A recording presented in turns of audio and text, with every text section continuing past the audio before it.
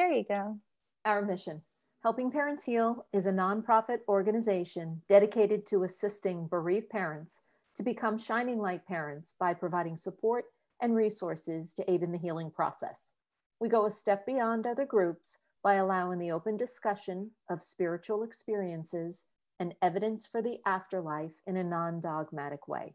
Affiliate groups welcome everyone, regardless of religious or non religious background, and allow for open dialogue.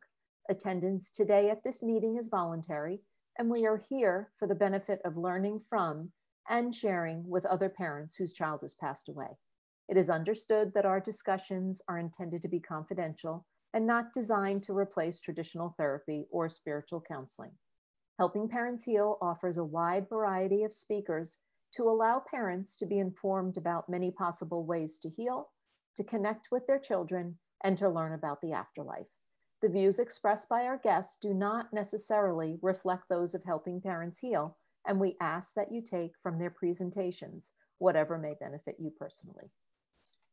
Thank you, Irene. And I'd like to introduce Theresa. I am, so, again, I am so grateful that she's here all the way from London.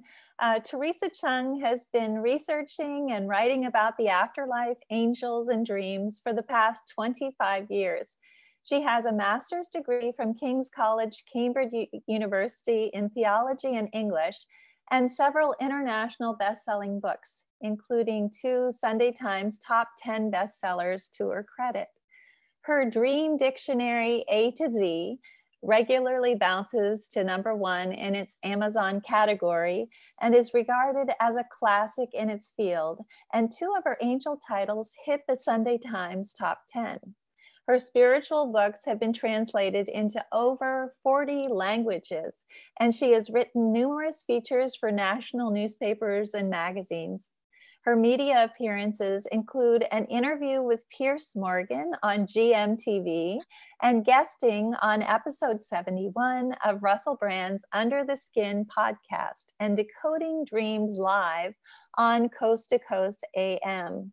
She works closely with scientists studying consciousness and has her own popular spiritual podcast, White Shores. Her website is www.theresacheung.com. That's spelled C H E U N G. And she has a busy author page on Facebook, as well as an author page on Instagram and Twitter please go to Theresa's website for more information. And I just want to say that she's delightful. I'm thrilled to have her here. And we're going to have Doris Acquaviva, who's our uh, Helping Parents Heal Northeast Atlanta affiliate leader, just say a few words about her before we get started. So, Doris, let's see here. Um, have to make sure that you can unmute. There we go. Yeah, I came across Theresa on a podcast with um, Simon Brown, and I was just, I, I had to watch it. I had to listen to it twice because it just made me feel so good. Like the work that you're doing is just, it's so healing and so uplifting and i just i just love you i think you're awesome and that's why i had woke up the next morning i might have even still been in bed and texted elizabeth and said oh my god you have to get her.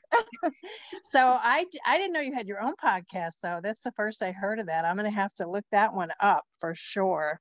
But yeah i'm so grateful that you're here and i'm really looking forward to hearing what you have to say. Well, and thank you, Doris. And what we're going to do is have Theresa talk about her journey and talk about um, obviously she's an academic she's highly educated and, and moving into this world of the afterlife community. And um, as she does first of all i want to make sure that everybody uh, writes their names where they're from if they're an affiliate leader a caring listener or on the board. And also if if questions come up during the time that she's speaking, please write them in the chat box and I'd love to field them. And Doris might be, be fielding some as well. So uh, without further ado, please welcome Theresa Cheung. Hello. Hi, can you hear me all right? Yes, I can hear you. Beautiful, yes. isn't that the wonders of technology? Here I am in the UK, and thank you, everyone. I'm sorry it was a bit earlier than usual, but it's just simply because of COVID here, and I wouldn't get the internet, the time, the space, and the quiet to, that, that you deserve. Um, and I just want to thank you, Elizabeth, Irene, and Doris. Thank you so much. Um, in particular, Doris, it's, it's wonderful that you you did this because otherwise I wouldn't be connected to this amazing organization. And I'm I'm absolutely I'm getting a bit tearful actually because you said such kind things about me and it shouldn't be about me at all. It should be about you because I'm what I'm seeing here in the faces, and that's what I often see in the faces of bereaved people, particularly with children, is that youth, that joy, which is such a contradiction to what you would expect for someone who's been through, let's face it, the hardest thing you can ever experience the loss of a beloved child at whatever stage, whether it's in pregnancy or in life um, on earth. Um, it's the toughest thing, and my respect goes out to you. In fact, I feel you should be talking to me about the spiritual journey because I have not been through that. I have, of course, as most people have, especially when you get to my age, lost people I thought I couldn't live without. And so I can talk from it from that perspective. I've also written books about the loss of children, angel babies. I have researched it and I get lots and lots of letters uh, from people who are having afterlife signs and experiences. Plus, I work with scientists who are researching all this. So that's what I can offer. Um, I can't, however, offer what you guys have been through and are going through every day, which is such a difficult journey. But I just look at you and Elizabeth, look, the, the, the glow, there's beauty, beauty, there's youth. And it, it's so sad that you had to go through that darkness to to get there but i'll talk about that in the talk. But also i'm going to say i did actually expect the the um the uh, this to be an interview. So i'm just going to be speaking from my heart here. So forgive me if i ramble and go on a tangent and I, as i'm known to do and anyone who listens to my podcast i think that's what they tune in for is what is she going to say next? But that's how i believe heaven works. And in a way i'm glad that i didn't know this because you have to expect the unexpected when you go on the spiritual path. That's what it's all about. So I'm really glad. So I'm just going to take a deep breath and speak from my heart. And I hope that what I say helps or is informative or open minds or encourages you to connect to other people because I'm going to suggest some names of people I've worked with as well that you may or may not know of before who can maybe help and heal as well. Um, I will do a very brave, brief introduction to who I am, because I'm sure that there are lots of people who don't know who I am. Um, um, so I'm going to do that, not because I'm think I'm a big I am or anything, but just to show you why I'm doing this work that I'm doing.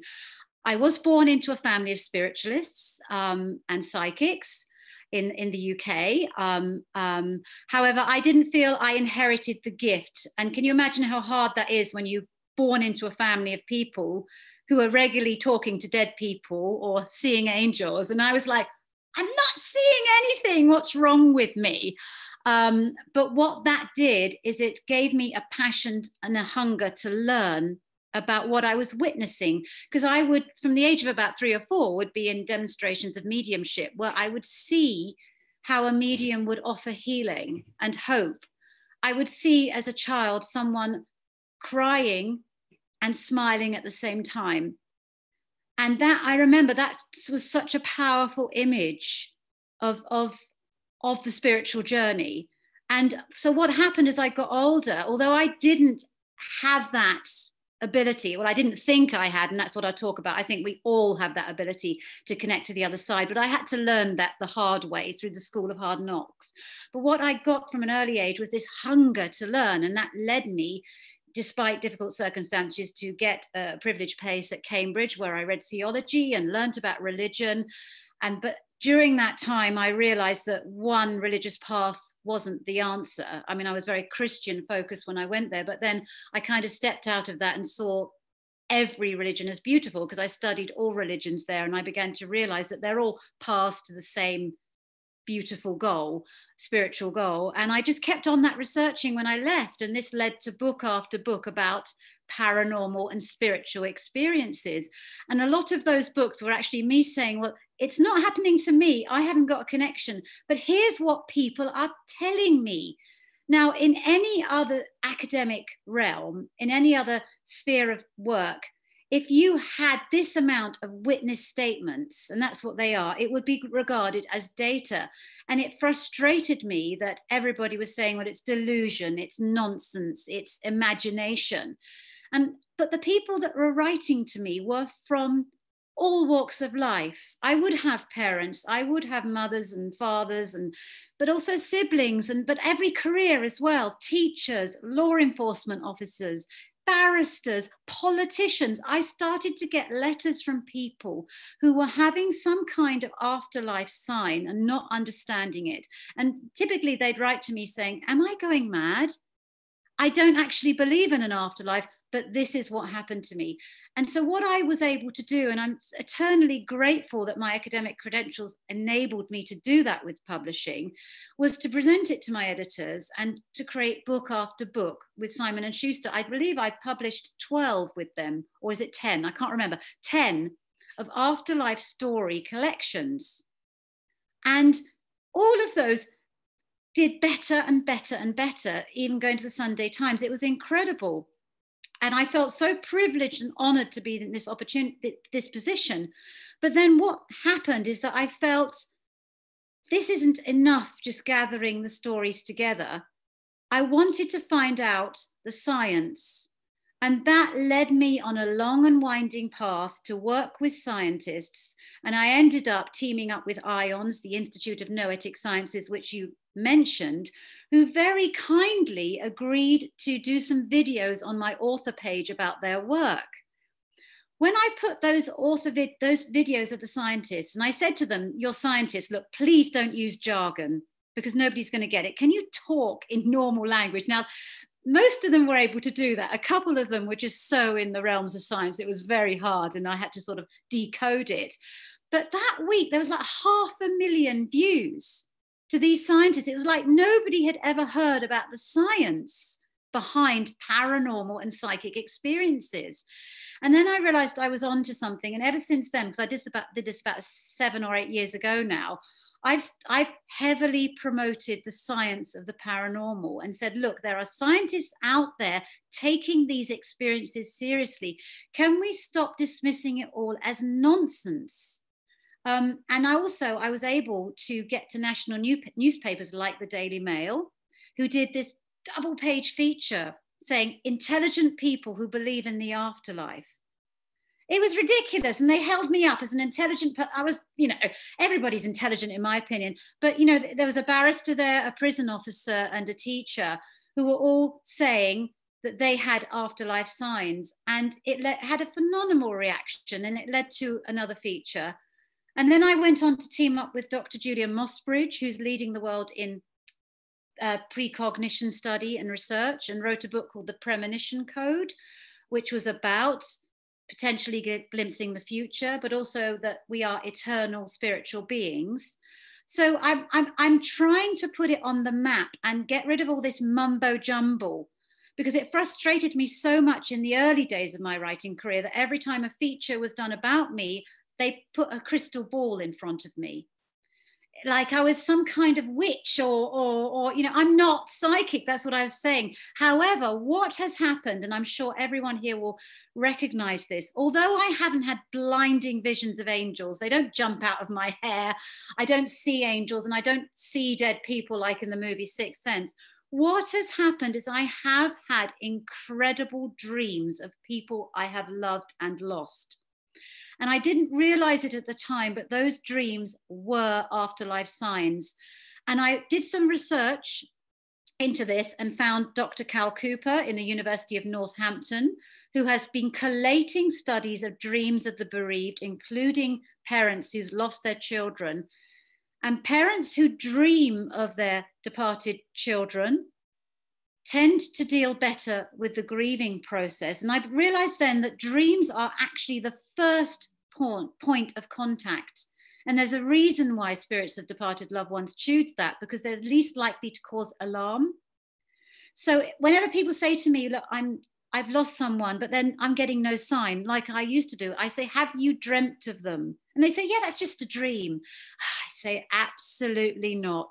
Not, not just a dream. And I've actually done so much research now and writing about the dreaming mind that I actually believe our dreaming mind is spirit and it's where we connect to the afterlife. And I'm doing a lot of work with lucid dreaming techniques, dreams of the bereaved, and that's where my focus is actually right now and looking at uh, the dreams of the bereaved.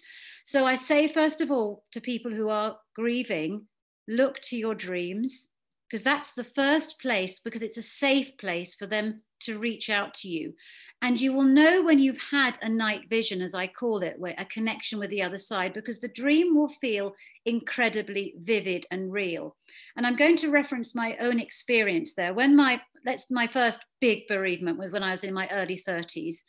My mother died, and I had no sign, and I plummeted into depression because I felt I had devoted my life to researching the afterlife, but I was getting nothing from her. I mean, I did expect a blinding vision. I expected her to walk through the door and I to see a vision. I was that naive. I'm ashamed to say I was because that's what you led to believe in the movies, aren't you, and everything.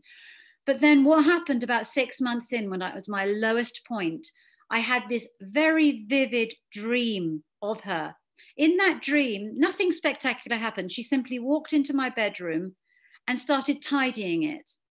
And it was so vivid and realistic. She didn't say anything to me. And when I woke up the next morning, it was almost like she was still alive again.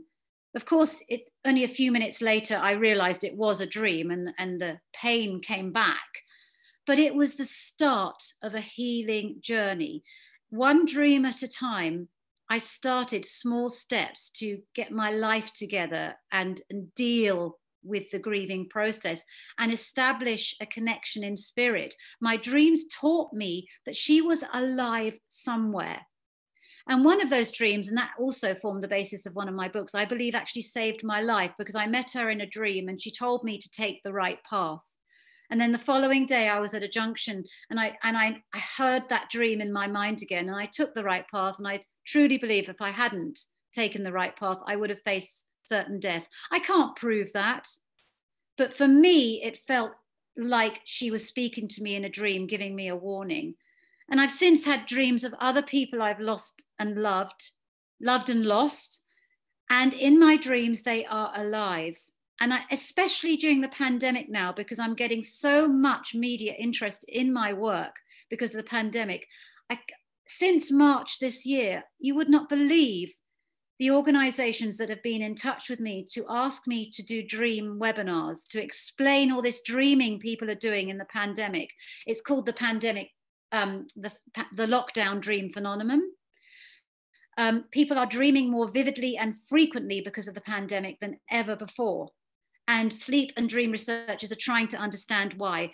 And I'm sure you all know, because you're all spiritual experts, you know why we're all dreaming vividly. It's an afterlife sign, it's spirit breaking through, trying to show us our shared humanity, because whoever we are, whatever our beliefs, whatever our religion, we all dream we all dream. And I believe the lockdown dream phenomenon, which is being written about, researched scientifically, is spirit breaking through. That's my personal opinion. But to return to bereavement, I believe dreams are the first port of call.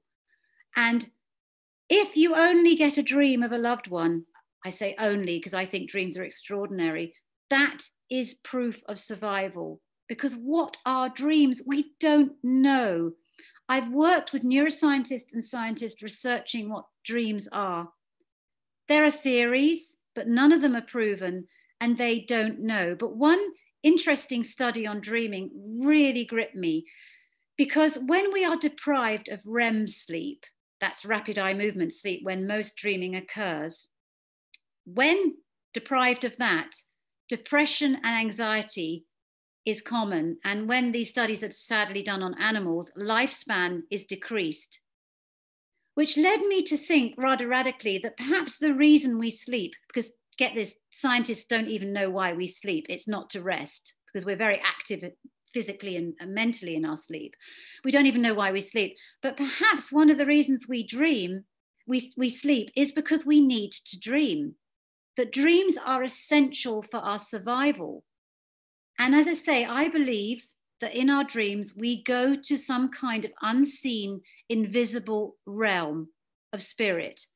And learning to decode and understand our dreams can be the first step to spiritual awakening.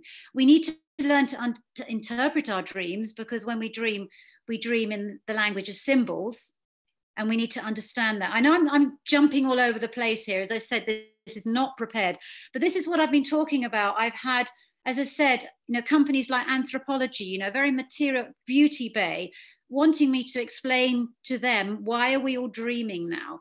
And I've been, you know, national newspapers. I went on coast to coast because of this, and I've never had so much interest. And I think actually it is spirit trying to break through and remind us that we are more than the material. Now, you, of course, will know that because you've all been through this horrendous journey of losing a child. I don't know why that happened. I wish I could explain. I don't know the mind of spirit, um, but perhaps in the afterlife, we will understand when we transition to spirit ourselves. At the moment, we're in this life, which is all like the underside of a tapestry, all knots and messy ends. And maybe it's only on the other side and in spirit when we turn over and we see the picture and we understand why you lost something so precious to you. Um, but from to return to the theme of this, which is stories of people who have written to me about afterlife signs they have received from children in spirit. They are incredible, these stories stories of children breaking through first through dreams, but also through signs, through nature, through the words of other people. This is how these stories come through. And every time these signs come through, the parent knows knows with a certainty an unshakable certainty that this is not their imagination this is their child reconnecting to them and they, it can the child can also reconnect through your belief that that child is alive. I know this is very difficult to understand but your child every time you think of that child every memory you have your child becomes alive within you again.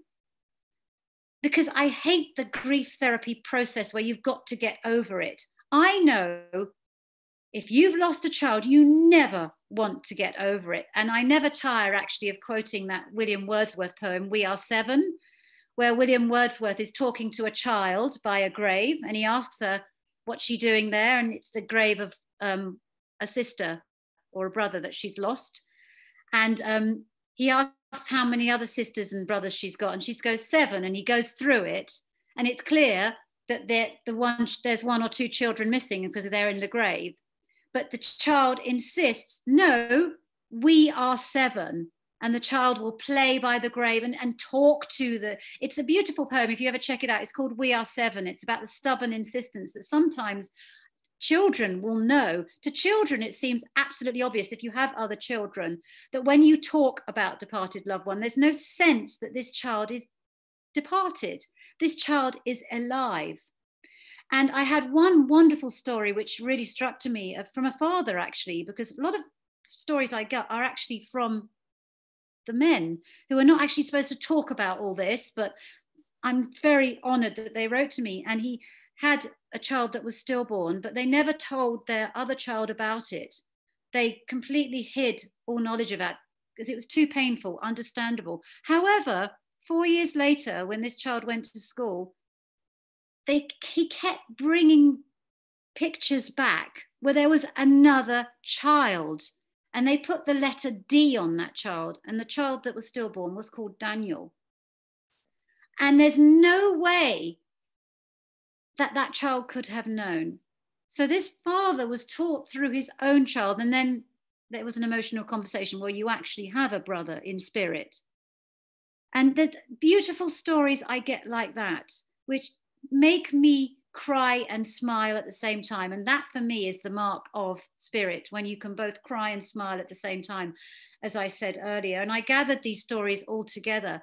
But as I said, I wanted more. I didn't just want the anecdotal because as, as wonderful as that is at the anecdotal stories that I can give you, I can give you hundreds of them, thousands maybe. My mailbag bag when people were writing letters was huge. And now, of course, it's all messaging on social media and, and um, through email is phenomenal. I have a database and um, I've actually been contacted by people doing PhD research on this, wanting stories. So I freely share my database to show what how many just how many people are having afterlife signs and experiences or simply believing that their child or their loved one has not gone. But belief maybe isn't enough especially in this day and age where the you know personal belief the anecdote experience experience as powerful as it is is not enough. And that's why i have gone on a crusade to my detriment you know, it's not been easy because publishers don't like it. They want me to just publish the comforting anecdotal. And they, you know, because people don't necessarily want the science. Their eyes glaze over because the science is tough to understand. But I will not, I'd rather not write a book than now no longer reference the science. And as I said, IONS is leading the way in that. And also my collaboration with the Windbridge Institute. I don't know if you know that. Dr. Julie Beischel wrote the foreword to one of my books called Answers from Heaven. Um, and I have a very good rapport with her. She's also been interviewed on my podcast. And that episode was one of the most downloaded, where she talked about her research as a medium. And I love working with people like that. And but what I love about them is that they are scientists before they're believers. I mean, I'm sure Dr. Judy Beischel and a lot of the people at IONS are actually believers. They are. But it doesn't matter to them. They say to me their belief comes second. And if the study doesn't prove the paranormal, they're not going to publish it because their integrity as scientists come first. I love that. And that's also why I never tire of following and referencing the work of Dr. Sam Parnia with his near death experience research. Now, Dr. Sam Parnia, he doesn't believe in life after death. He said that he's an atheist. However, he could not deny report after report that was coming through from his patients because he's one of the leading experts in resuscitation and what was happening that people were coming back with his new equipment that he designed with all these incredible stories and he thought this is data i'm a scientist i can't pretend it's not happening i cannot pretend it's not happening. And now there's more ongoing studies about that which also ions is looking into as well. And more and more near death experience stories. I mean i'm sure you all know dr eben alexander who, who actually launched my podcast. He was the very first episode. And he talked about his his his near death experience there. Um, and he's also been in my books you know and there's a neuroscientist who had this happen to him. The realization as he says as he says so repeat never tires of repeating is that the mind it can exist separate from the brain and the body. Um, and you know you've got the galileo commission ions the windbridge institute soul phone technology. I don't know if you know those guys. You mentioned gary schwartz didn't you? We know it? them very very well actually. Um, yes and i i just want to jump in very quickly because I, I, there are a lot of questions, but uh, Nancy is bringing up something that I think is very important. She does not feel like she's dreamed but she's wondering um, what could the reason be that I rarely dream, even though I do receive a son. Can't wait to answer this. she does dream, she's just not recalling it. Everybody dreams. I mean, there are people in my life who say to me, I don't dream, it's I don't remember them. It's you're just not recalling it. And there's certain things you can do to turn that around stress obviously and i don't know where you are in your bereavement journey is a big dream blocker because you're overwhelmed with emotion and stress and it's going to take time. So be patient with yourself as well. Don't try and force dreams. They're gentle and subtle. They will come when you are ready, that maybe the grieving process needs to work itself out because I'm a firm believer that grief is a journey, a horrific journey, however, one that where we learn more about ourselves and what matters in this life than anything. It is spiritual awakening like no other. And I almost in a way, this sounds weird, feel sorry for people who haven't suffered a bereavement because it does make you understand why we're here and what the meaning and purpose of our life. So you need to go through that journey. However, if you're not recalling your dreams, you simply aren't paying enough attention to them. Think more about the possibility of dreaming because, like anything in life, the more attention you pay to something, the more it will reward you. Perhaps for years you've got used to dismissing your dreams as nonsense or random or meaningless and you know your brain listens you know your mind listens to you the messages you you pay pay to it. So start believing in the possibility that you can dream, start paying attention to them, and in time, your dreams will reward it. Also, put a pen and paper by your bed before you go to sleep.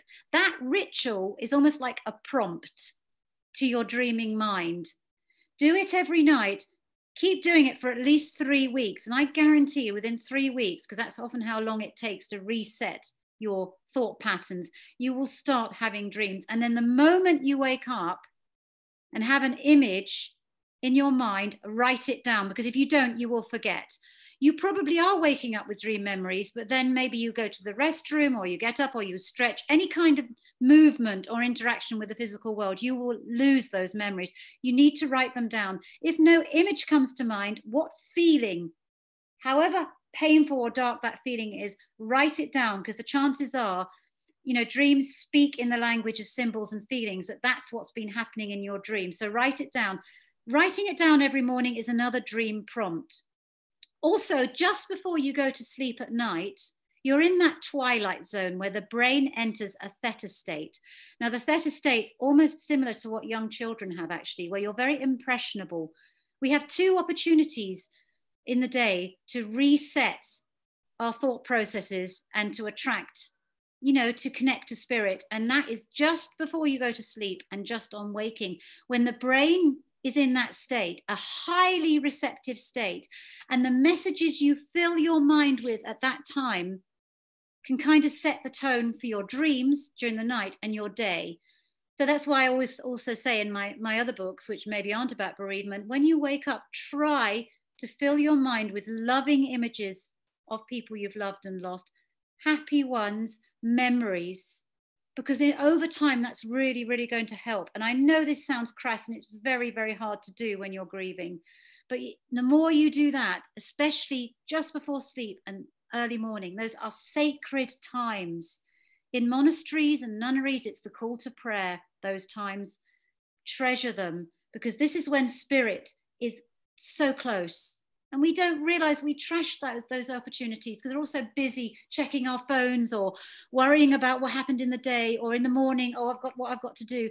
Just those sacred moments, they are truly, truly powerful spiritual times. So just before sleeping, just on waking, don't ignore those again. And um, the more attention, basically, the more attention you pay to your dreams, the more you set the intention before you go to sleep to dream.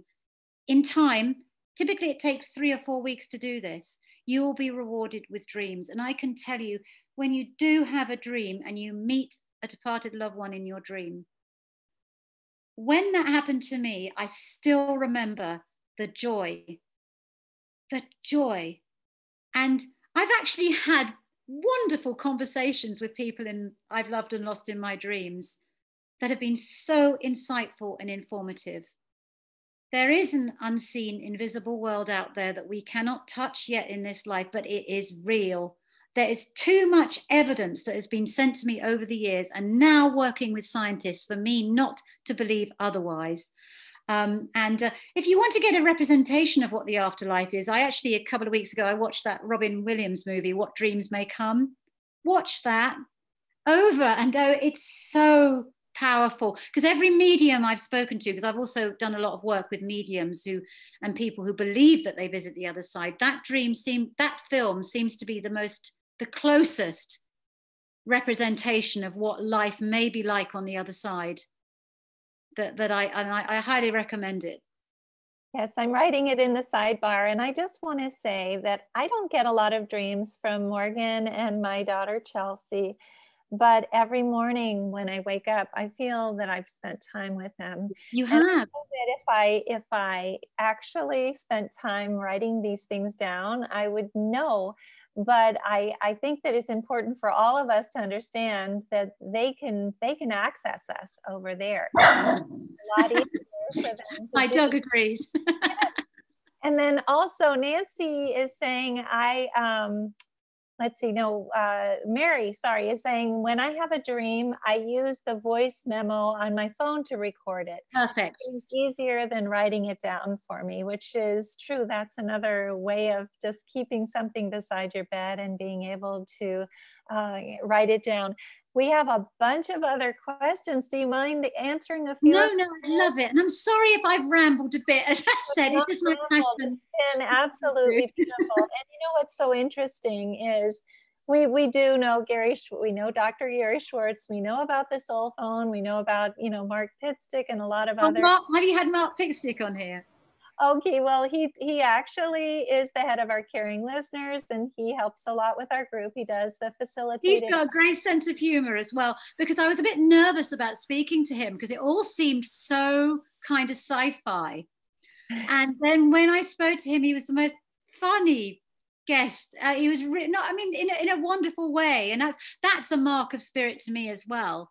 And that's what I see from your face this joy, this lightness, because when you are touched by spirit, something happens, it lifts you. And I can tell, I can oh, tell by the light in the in people's eyes. These kids um, are constantly lifting us up. It's like these huge balloons that are that are carrying us forward and not just morgan and chelsea but every single child here and and I've told people over and over again the day that I will be the happiest is the day that I get to hug every single one of these kids. No fear of COVID either. It'll be absolutely wonderful. in the other side, it's just like a heartbeat away. There's no sense of time. And for them, they're just, you know, they're they're there. They they they know that they're alive within you. They know. They are there. They are like every time you think about them, whether that's through a dream or a thought or a memory, keep that death ends a life, not a relationship. That's what I say over and over and over again. And I, going forward with what I was saying, I've been telling Gary Schwartz, I've been telling Mark Pitstick ever since Morgan passed that the kids have been telling me that the, the communication that we have with them is going to ultimately save the world. And for a very, very long time, I thought that sounds very fatalistic. What in the world are, what am I hearing? That doesn't make any sense. There's no, there's no problem in the world. Why, why would they be saying something like that? But now I understand. Ever since about January of this year, I've understood that we need to listen to what they're saying and be more compassionate, be more kind, be, be um, a greater help to our fellow citizens, be on a path of understanding that there's more and not that this life is the only life that we have here. And well, that's why the pandemic, in some ways, I feel that that's maybe what's positive about the pandemic, because ha- we, if you haven't got inner strength, a belief that there is something more, how can you get through this difficult time you know how can you get through it without that belief? And as i said you know the book man's search for meaning viktor frankl kind of like sums that up as well. That's another book i often recommend. Even though i'm not religious i don't recommend any kind of religion but it's that inner strength that there is more to this life and there's a part of you that is infinite. Yes. And it's invisible and unseen and we have denied it and feared it for too long. And I feel absolutely blessed that in this lifetime, because I'm sure I'll be back many times because I'm a flawed human being, I've got lots to learn. That my the reason I wasn't able to Im- immediately see dead people or whatever when I was young was because my destiny was to research it, collect stories, be a collector, and also a lot of people are like me. A lot of people don't have these blinding visions, like, you know, these celebrity mediums or whatever have. I'm not sure how I feel about that because, you know, that doesn't really help you if in your life you're not having it. So I feel like my voice is championing the ordinary but extraordinary ways our lost loved ones reach out to us on a daily basis. Ordinary but extraordinary ways through a memory, through a dream, through a coincidence, through a sign, even if that sign's a feather or a robin hopping across your path. The universe speaks to us in all these invisible ways. and that's what I, I want to champion. I'm not particularly interested anymore in people who've had astonishing visions or blinding insights or believe they've seen a full-blown vision. It's, it, I don't think that's helpful at all. I don't think so because I think spirit wants us to always question, always, because curiosity is so important for evolution and pushing us forward.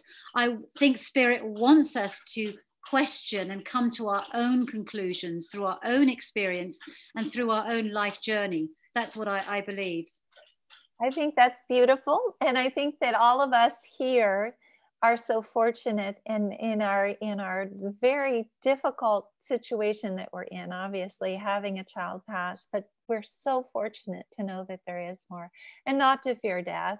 Um, obviously i think that we all need to be very careful during this pandemic because we don't want to give it to anyone else. I know. Um, certainly would never want to be the reason that someone else passes but at the same time it's it's not the same thing for us as it would be for someone who doesn't have an incredible son or daughter or more than one son or daughter on the other side or other loved ones who are waiting for us on the other side and who are helping us while we're here.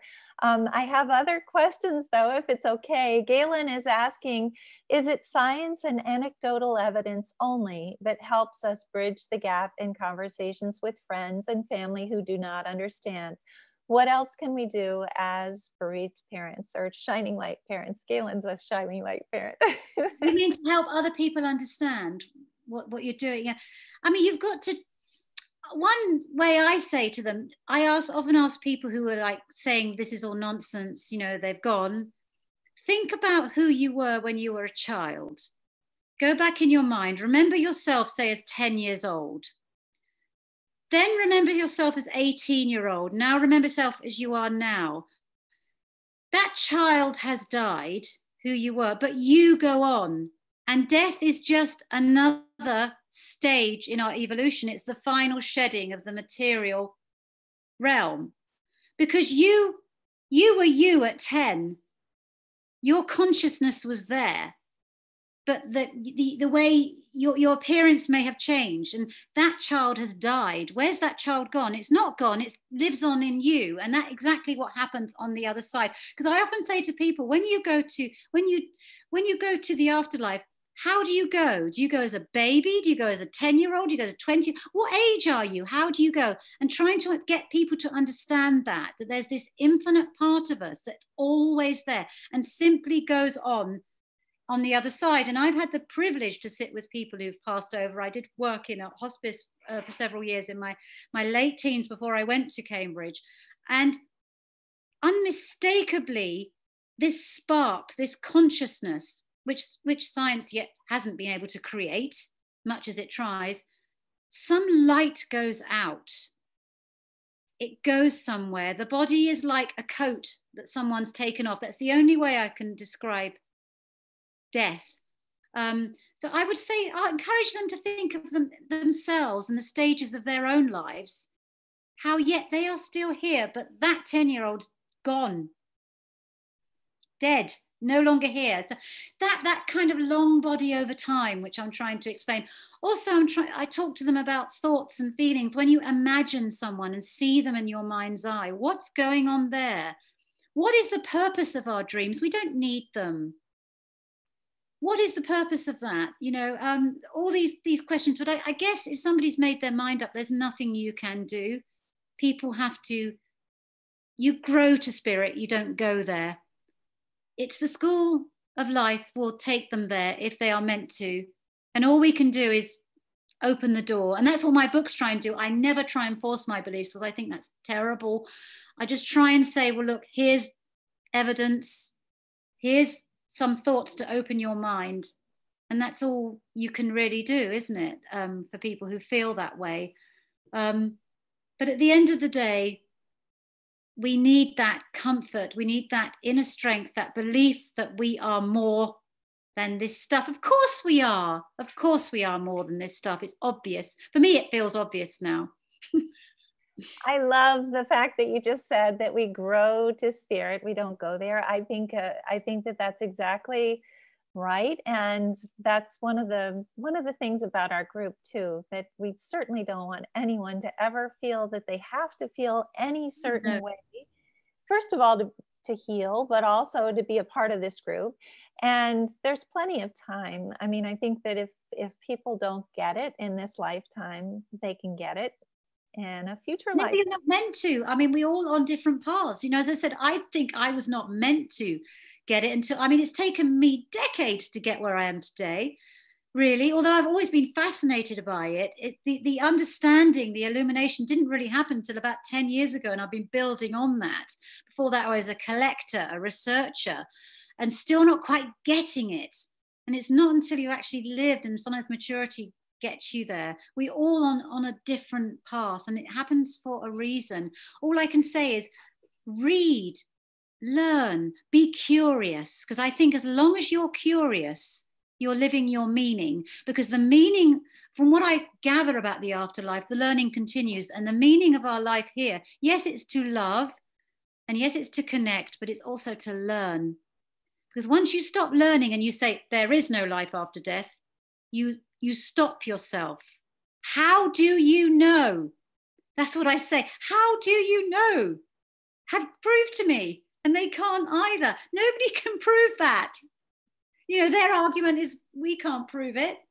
I think we can. I think we've got near death experiences, we've got parting visions, we've got afterlife signs, we've got anecdotal evidence, we've got these amazing scientists who are really, I admire them because it must be difficult in the scientific world to do what they're doing putting forth this incredible data. And as I say, Dr. Dr. Sam Parnia is leading the way with his near death experience research, which is making the scientific community really think again.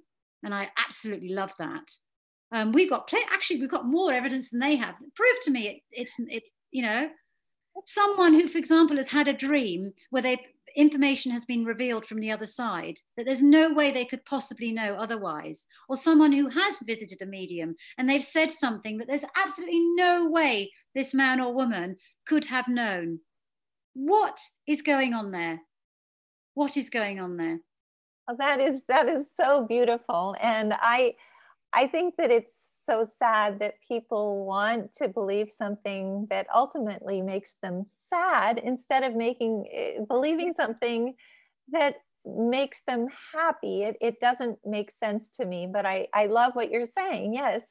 And i i have a question from antoinetta that i think is a very good question. You just started talking a little bit about it. What is your take on what the afterlife is like my take on it is that it's vibrant and colorful um, one uh, mother wrote to me about her, her daughter actually who died, and her daughter was having visions of the afterlife, and she said the flowers sing. And that's always stuck with me. That before the little girl died, she said she was going to be happy because she was going where the where the flowers sing. Oh, it's just beautiful. Vibrancy and color is what comes, and learning. But however, also, you know, what about people who have done wrong on this side? you know i'm often asked well what about criminals what about murderers do they go to this vibrant colorful place and get the, all that and i i believe very much that you go to the kind of afterlife that you're creating right now everyone here is already creating the kind of afterlife they will experience with their thoughts so that when you go to the other side you really take your heaven with you and that's why I believe the afterlife could be experienced right now. It's not something that happens when you finally transition. It happens in every single moment. Um, and so when someone who has been bad or done horrible things goes to the other side, they will have to learn how their acts impacted other people. They need to learn empathy. Again, this isn't punishment. The focus is always on learning and growth. It seems that this life is a constant shedding of skins. I use that analogy. And, you know, just we, when we shed our physical body, it's just another skin we shed as we move on into pure spirit. Um, and if you think back in medieval times, you know, saints and everything who fasted in a way, I, I don't recommend it. What they were trying to do is pure spirit. And that's why a lot of people with addictions and everything and um, eating disorders, it's almost like not wanting the physical. This is a very interesting approach to it. and not to be recommended at all because I think this life is to be enjoyed and to learned from. But it's that lightness, that just wanting to be pure spirit. And if you look at, you know, a lot of religions, they do have fasting for a reason. I don't agree with it, but I, you know, I'm going on a tangent well, again. And there, are, well, there are other ways to raise our vibration. I think just from, you know, maybe yoga, maybe meditation, as uh, as well as possibly cutting out as much red meat and and maybe even becoming vegetarian, doing things that are similar to possibly what they were doing in the fasting. And um, I know that that's helped me spending lots of time outdoors. I think that that Absolutely. is one of the biggest. Well, nature teaches us about death so much because in in nature you see how life and death are one. They both feed in. They are both miracles, and and it's changing. It, uh, it's stopping to fear death and seeing death as a miracle. Death truly is a miracle you are, I mean, when you are with people who are close to passing, every moment is so rich with life. It really is. It teaches us to be present in a way, shows us the etern- the infinite eternity of every present moment. But as you say, spending time in nature is so healing because it shows us this life and death are one in nature. They need each other. Um, and that, that's quite difficult concept to grasp and a painful one. Um, but as I say, the spiritual perspective is the only one that can pull you through. It truly is. Well, I have people thanking Doris for bringing you to us. And Doris, oh, I'm thankful to Doris. I, I, I absolutely love. Yeah. And I was going to say, there's an episode. I'm just thinking. Um, I've done a lot of my podcasts. It's in season two, episode ten. You you won't know her, but it's a lady. Uh, we talk about it, um, it. Her journey where she lost her her four year old daughter, and she talks about it and the signs that she's experienced. I called the episode "From Cradle to Beyond the Grave," um, and it's in, got stacks of messages about it. It's deeply moving. She went on to write her own book about it called The Gift Within Us. I'm not sure if it's available in the States, but it's a beautiful book. And she's an incredibly beautiful woman who speaks about her journey um, from losing her child. She actually describes the moment it happens and how she's rebuilt her life now. Um, and it's season two, episode 10, From Cradle to Beyond the Grave. I, I, I recommend that because it deals directly with child bereavement that's wonderful. But um, Doris is asking, what is your reason for writing Angel Babies? Could you maybe just, um, we have a few more minutes. Um, because of the amount of messages, because I respond very much what happened. When I wrote my first book, An Angel Called My Name, about angels, I thought that would be it. Because what I'd done before, I, for HarperCollins, I'd written encyclopedias of the psychic world because they wanted my academic credentials to do a sort of big encyclopedia of the psychic world. And then I did an encyclopedia of 20,000 dreams. And then they said, well, there's a lot of interest in angels at the moment, you know, angels in my hair and all that. Even though you don't see angels, can you write an angel story collection? And I said, yeah, sure, I've got them. Um, and I wrote that first one. It was so successful that they said, we want to follow up. And I just looked at the volume of messages, and I would say 60% of them were from parents. And it was in response to that um, and so I contacted the parents and asked them if they would not mind sharing their stories. And all of them, without exception, some of them wanted their names changed for religious or cultural reasons, because I, for no other reason than it will comfort other parents going through it. Now that book was written a while ago, and I wish actually I had an opportunity to revisit because I that's what maturity does. I could write it so much better because I literally just cobbled together my belief in angel babies. You know, how I believe I saw my son in a dream before he was born, showing that I believe this long body over time, um, to all the, and I gathered some of the, I hate to say the best of, but the ones that were most coherent and I believed would speak to most people. Um, and I just collected them together. That was the simple reason. It was in response to the angels that had written to me. Um, and and then it just led to more and more. As I said, it's always in response to the mail that I get. Um, and I ended up doing about 12 of them at the time, which is incredible. If you think the UK is actually very cynical. And my publishers invested no publicity in it at all. They just thought they were going to sell foreign rights to the book because my my angel books are translated all over the world. They didn't even bother. And even they were thinking, how can this be happening? And they were kind of embarrassed of it as well. I'm ashamed to say in publishing, there's often this kind of embarrassment of dealing with these topics. It has changed more recently when you've got the likes of Eben Alexander and more high profile cases coming. But they were kind of embarrassed at the time. They did zero publicity. There was no, I got hard, you know, my advance was so small because they didn't think it would do well. They thought, how can anyone believe this? And yet, look at it. And it's just built and built. It's just like going bigger and bigger and bigger. And now I just feel so grateful to be at this time in my career to do that and to be invited on Russell Brand to talk about this. Now he's kind of, it was not easy because he made he he you know if you want to have an exercise in humiliation and how how to fail at something have a look at me in that interview. I'm like a rabbit caught in the headlights because this was the first time actually that i'd spoken to someone quite so famous about my beliefs.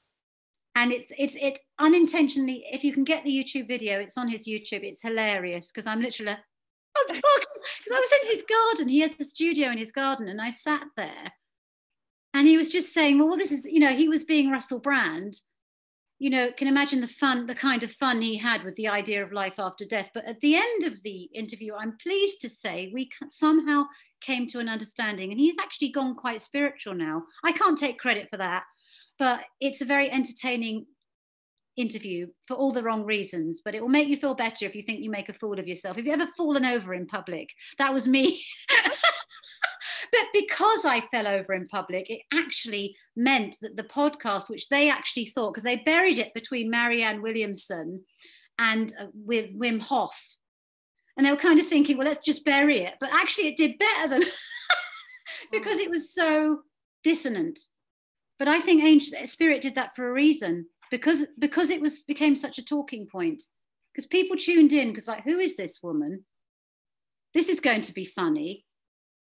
But it was overwhelmingly positive at the end. And so many people said, I'd never thought about it in that way. So I was, again, thank you. I was so grateful for the opportunity to do that because it raised awareness of the afterlife in a way. Although I, I will kick myself because when he was talking about the science, I wasn't as clued up as I could be. And I ended up nerves quoting Patrick Swayze in Ghost. Not good. The love inside, you take it with you. That wasn't good. That's a beautiful movie, though. All of us love that. but I, I wanted to. We have so little time left. But I hope I meet Patrick Swayze on the other side. I better. I put in my time. He's wonderful. We all love Patrick Swayze. But I two things very quickly. Do you believe in soul plans? And then we have a question about suicide, and if that's something that you think um, might be a part of a soul plan. Is there something that you might be able to say to speak to that? Um, in well, with reincarnation, soul plan implies that you believe in reincarnation. I was actually invited by BBC Radio 4, their Beyond Belief program to talk about this. Um, um, but what I did, because it was the BBC, I, I will ref, I referenced uh, the research of Dr. Ian Stevenson in that, where he, you know, had some incredible reincarnation stories from children, uh, especially who would have no preconceived ideas about culture and religion, which kind of I believe again are powerful data. So it depends if you believe in reincarnation. And my personal belief is to believe in it but of course can't be proved. I just point to research like Dr. Ian Stevenson, which suggests it could well be true. And if there is reincarnation, then I totally believe there's a soul plan. That there's consideration when you get over there. Do you want to go back again? And what have you got to learn now? You know, and some, you know, people want to jump back immediately because they've realized that they want to learn more. So I guess, yeah, I do believe in a soul plan because I, I am inclined now to believe in reincarnation. And if you talk to the likes of Robert Schwartz and, um, as I say, reference the research of Dr. Ian Stevenson that's being done, that what he's departed now, I believe, but it, it's being continued at the University of Virginia, isn't it?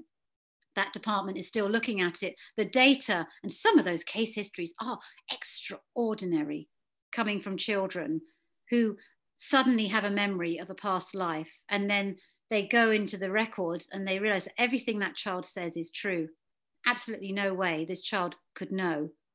sometimes in different countries all over the world and there's no way also the parent they're too young to be told by their parents what to do incredible. So yeah yeah i do. Sorry i've gone on a tangent but yes. That's beautiful. And i just want to tell you that mary is saying that the spirit world must love you which we all feel the same way Doris is saying White Shores is her podcast. She has some great people and uh, that we know. All, and all, the ion, all the Ions team, and I torture them with like trying to ask them questions like, "What's their favorite movie?"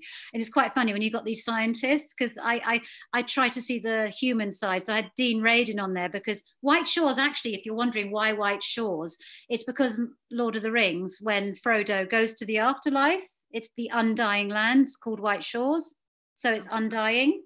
Um, and so I asked them if they could be in Lord of the Rings, what character they would be. And, you know, Dean Radin famously said Spock. he got the wrong. But I also asked people like to give their spiritual mover recommendations. I had a wonderful medium on last week, last week um, who was a former Wall Street money manager and CNBC contributor. I'm sure she'd love to talk to you here, actually. She's called Deborah Diamond and she's a death doula. Oh, we know Deborah, actually. She's yeah she's presented to helping parents heal. yeah yeah she was on last yeah she was on i loved her. She was interesting. She got my favorite movie of all time so she is psychic. Because I, I, get them to guess she was the first to guess the wizard of oz of course. Well that's oh, that's oh, kind of a spiritual movie isn't it? You're yeah it is yeah the wizard of oz that dream or is it a near-death experience? Is it a spiritual journey? There's everything there in that dream. And at the end we're like dorothy it's within us all, all the time and we just need to learn that and i think that's what that life is to realize that we seek out there for what's in us. Um, and i think the wizard of oz captures that beautifully. That's um, beautiful. Oh my gosh. there's no place like heaven. There's no place like heaven and and heaven is right here at home and our kids are right here every step of the way and they are holding our hands they're our biggest cheerleaders and they are leading us to uh, home. We're still in school though, so we're all learning lots of stuff. What I found also with um, the parents that have written to me, they all have a dramatic life shift in that they want their life to have meaning and purpose. And actually, for their soul path, the the loss of a child triggers them to be more expansive and to touch lives in a way that they would never have done before. Um, so maybe it is all part of the soul plan for reaching out, connecting this interconnection between all of us. And I've noticed that with bereaved, bereaved parents, there is this sense of mission. Whereas before they may have been treading water with life, and that's no longer the case following the loss of a child. Meaning and purpose becomes everything. Um, you wouldn't believe the number of parents who have written incredible books. Um, yes, absolutely. Uh, who have formed foundations to help others. Um, I would say almost everyone that, that I am in contact with has done something incredible in their child's name. And I agree with you. It does give us purpose. It gives us a reason to be here on earth. Um, and a lot of parents say that although they thought their lives were incredibly perfect before their children passed, now they know that um, they were missing they were missing that spiritual that, side that, that um, meaning and purpose and meaning, and, yes and yeah so, um, I, I am just so grateful for you that you were able to come and speak to us. Thank you, Doris, for um, Thank you, Doris. I'm very grateful. Thank you. Yeah. And you just mentioned about suicide. I do want to talk about that because that's such a, you mentioned okay, about yes, suicide. Yes. That's a big, big issue. What happens to suicide? And as I say, the heaven that you're creating or the hell that you're creating, you take it with you. And from what I gather, that in the other side, the, it, it's not a solution because the learning has to continue. Um, um, but it is sometimes you know it's it's the hardest thing for the people who who've been touched by suicide.